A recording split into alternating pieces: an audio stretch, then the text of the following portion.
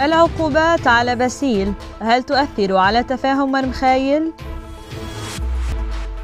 بعدما كانت العقوبات تركز على رجال أعمال شيعة أدرجت وزارة الخزانة الأمريكية ولأول مرة سياسيين مسيحيين من الصف الأول ففرض عقوبات على النائب جبران باسيل لم يكن مفاجئا لأن هذا السيناريو كان واردا وباسيل نفسه كشف أن تحذيرات عدة وصلت إليه.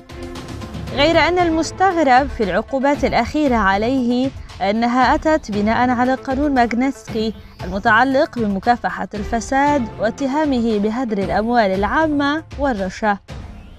في حين تضمنت بيانات العقوبات إشارة إلى العلاقة التي تجمع باسيل مع حزب الله لكن ذلك لم يكن سبب العقوبات بشكل أساسي.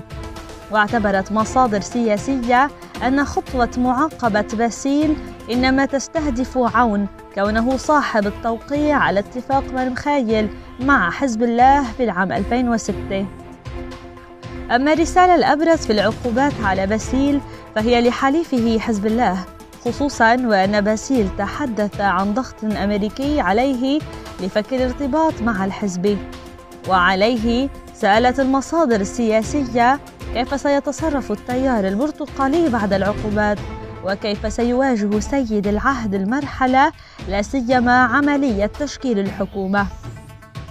أما بالنسبة إلى باسيل المعني الأول بالعقوبات التي أعلن أنه سيواجهها بالقانون فسألت المصادر كيف سيواجه عقوبات قضت على مستقبله السياسي. وهل يعيد النظر بتفاهم مرمخايل بعدما تبين أن البنود التي تتعلق بقيام الدولة لم تطبق وأن حزب الله أخذ ما يناسبه وترك ما لا يناسبه؟